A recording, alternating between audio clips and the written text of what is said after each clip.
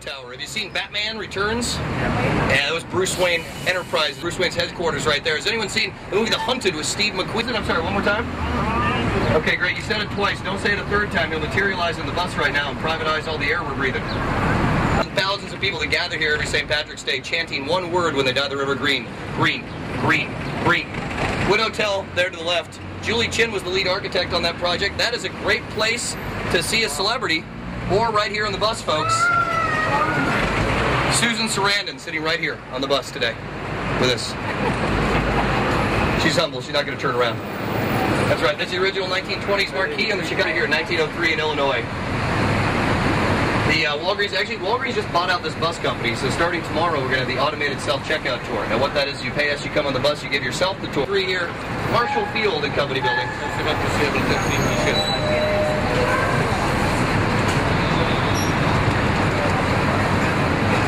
People get off here, Theo. Uh, Marshall Field and Company there. It's the Walnut Room. You can still get the, it's still in there, you can still get the original chicken pot pie from 1880. Yeah, it's a little stale though. It's a little tough. It's a little dry. It's a little cool. It was so hot in Chicago today. I saw Charlie Sheen on Michigan Avenue earlier on today. Charlie Sheen snorting ice chips to cool off. It was so hot in Chicago today. I heard a tree whistle for a dog. The Pritzker Pavilion over there. That's a Frank Gehry Amphitheater. Now, um, Daniel Burnham did this building we just passed there, and building over here. Daniel Burnham, he uh, designed the left. He teamed up with Dankmar Adler to do the world's first nearly perfect acoustic theater. That angered people because the people that whiz cheese in an aerosol can, that got its start right here in Chicago. Um, what else? Uh, uh, brown oh, oh Twinkies. Twinkies started right here in Chicago. Yep. Diabetes started right here in Chicago. Now, Chicago's famous for deep dish pizzas and Chicago-style hot dogs. What I recommend is you take the Chicago-style hot dog and jam it, stuff it into the deep dish pizza, deep fry the whole number, and then having a paramedic standing by with a defibrillator on hand. Clear. So, two gargle. Try saying the word gargle. I get it you a little bit. From the French. You can park in a driveway and drive in a parkway. Cargo goes by ship, shipments go by car. Freeway is not free and the highway is not high. Folks, Shia LaBeouf from Transformers 3, right there. Woo!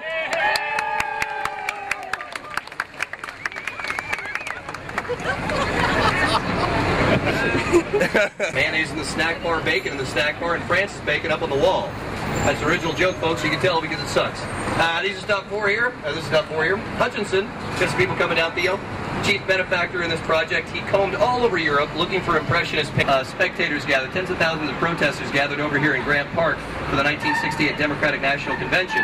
Now they decided to move in on the Hilton Hotel where they're nominating nominating one thing. The policeman is not here to create disorder. The policeman is here to preserve disorder. There, the Railway Exchange building there. That has a scale model of downtown Illinois Central there. It used to run up all the way around the coast here and then ended at Navy Pier for shipping. And the railroad, the different merchants like Marshall Field and Potter Palmer used to bribe the railroad conductors and the railroad managers to stop off here. Uh, when it was built, it was the biggest building in the world and the tallest in North America to let you know how standards have changed. But this is that theater I was talking about, the Chicago Fire. And less than 20 years later, we rebuilt. We were bigger and better than ever. And we were in competition with New York to host this Columbian Expo, this World's Fair. New York assumed they got it. They even spent $100,000 on advertising in 1893 money, and they didn't get it. So Charles Dana from the New York Sun, Bitter, comes out to Chicago just before the expo. Stuff town used to have a big Polish population, uh, and Polish people were known for leaving skinned goats on their porch to dry. And so male gunner, a long-standing tradition we have here in Chicago of walking around in circles and standing in line. Uh, sometimes we stand in circles, sometimes we walk in line. Sometimes we stand in line, we don't even know why. There's just a lot of people standing in line, so whatever's on the other side, it must be pretty good, let me tell you. Magdalena Avocado go around. Remember, folks, everyone take a picture of that because if you don't, Saturday? There's no T-sound. You're in Chicago now. It's Saturday. Let me check my calendar. Calendar. I don't know if I go to rally in the alley on Saturday. I have a glass, glass of wine and a salad on Saturday. That's from Los Angeles. who say all kinds of ridiculous things like, I can do and stuff. Good, good, good, good. Let's try that. I can do and stuff. I can do it. Say good. Say good. Good. Good. Good. Good. Mm-hmm. Okay. Mm-hmm. Okay. And good for you. And things like that. But after five years of living here and now, I do catch myself saying, the Bears play. Almost timed that one out. Where did the Bears play? Now, that's Soldier Field. But a lot of people say Soldiers Field here in Chicago. There is no S at the end of Soldier Field, but people say Soldiers deal. Then people will pluralize grocery stores out here too. Like I'm going to the Jewels. You want to come with? Couldn't find bargain at Walmart. Hey, you want to go to Targets? And I guess because we have local chains like Dominick's that have an S at the end of it, so we just add S's to the end of everything else. And then Illinois, of course, we say Illinois, not Illinois. Degrees Fahrenheit, 25 Celsius. It's uh, 300 feet deep on average, over 900 feet out by Green Bay, Wisconsin, where the Edmund Fitzgerald used to sail out of. Oh, you're from Michigan, right there? You know, like, if you don't know, Michigan is a state shaped like a glove. So, sir, where on the glove are you from?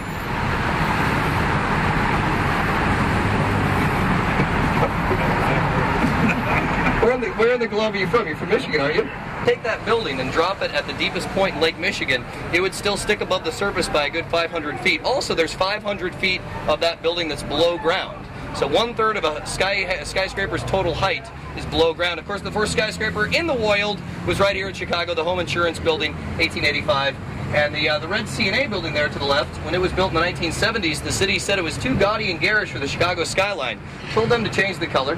At first they refused. The city threatened to raise their property taxes, so they agreed. They signed some documents, some paperwork saying they would change the color, but in the in those paperwork, in those documents, it did not say which color they had to change it to, so they just changed it to a different, uh, even brighter, more obnoxious shade of red. So we roll here in Chicago. Over there to the left. That is Buckingham Fountain done by Edward Bennett, 1927. It is pumping 14,000 gallons of water a minute, and it shoots 150 feet up into the air when it doesn't in fact shoot up in the air. Also, there's a light show and classical music that plays here tonight, if you want to come see this. Uh, what else you got in town? So this is something to do tonight. You know, come around the fountain here. Also, you got Buddy Guys Club. You got State Street and Hubbard Street has a cool uh, Howl at the Moon and Andy's Jazz Club and a whole bunch of cool places. Kingston Mines, probably the most respectable jazz outfit in Chicago, is uh, a little bit uh, a little bit north of here or north of here. And uh, but why go to any of those places when you got me right here?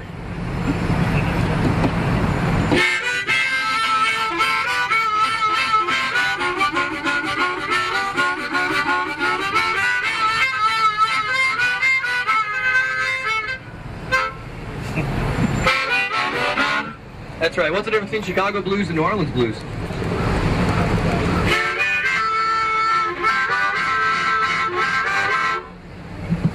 About 380 miles, give or take. That's accurate. But that is the Smurfit Stone building. That is the most dangerous skyscraper in Chicago. Falling ice and snow injure half a dozen to a dozen people off of that building there. They were going to install solar panels, but they never got around to it. So it's just a giant avalanche machine. University of Chicago there, UIC. That's an annex though. The main branch is over on the south side. Underneath the main branch or the main UIC is where they did the first nuclear seven here. I was an ugly kid. Every time I played in the sandbox, a cat tried to cover me up. I tell you, when I was born, the doctor walks in the waiting room. He told my mom and my dad. He said we did everything, did everything we could, but he pulled through anyways. A lot of kids have invisible friends. I had two invisible friends. Yeah, they played with each other.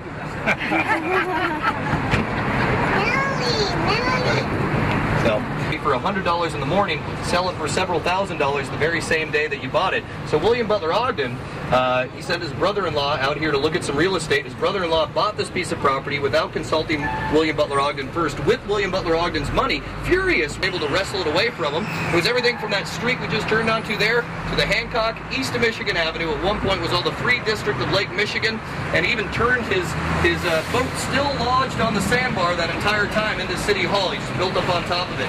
Completely self right with the one and the two and the bubble machine broadcasting. Get over here. All right, everyone get out your cameras. We're all going to clap. Get find somebody. Get find somebody.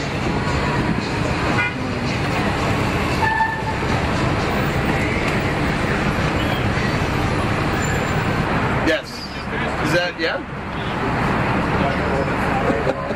sure. Yeah, tips are always greatly appreciated. You give me a tip or tip me right over the side of the bus. My God, just make it quick, whatever you do. Coming up that building, it's not Blythe Belo, right there, Belo! Woo!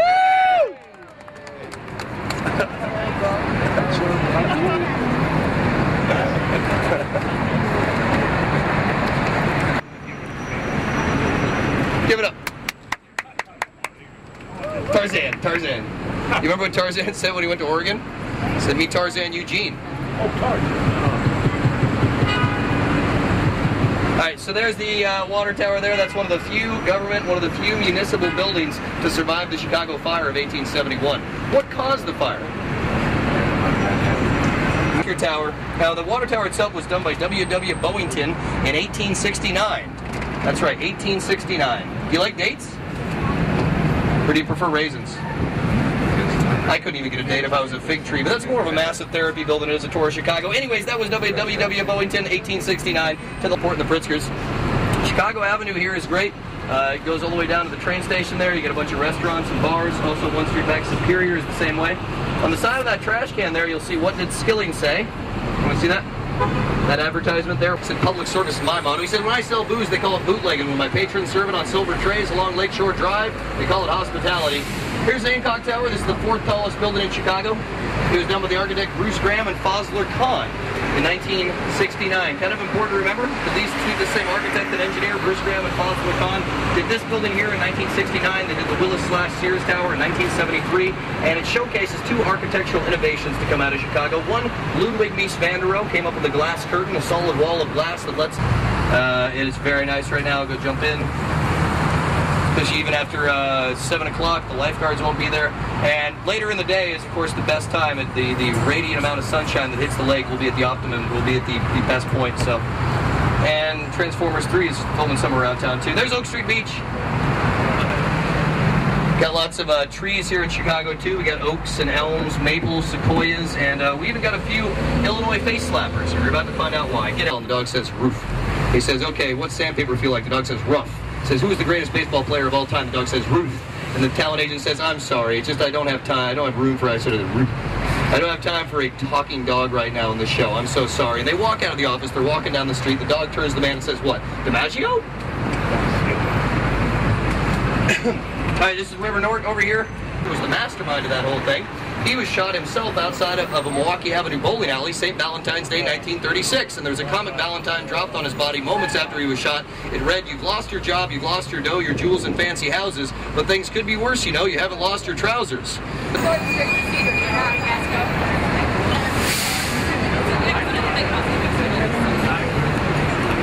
Now, this Michael Anthony building here on the corner dates back to 1891 uh, or 92. There was artist studio space during the 1893 Columbian Expo.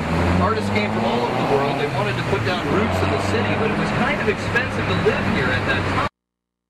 Dave Lambert gave them cheap rent because he did not want them to leave the city. He wanted them to stay here and branch out as artists. You the name that studio space? No, I think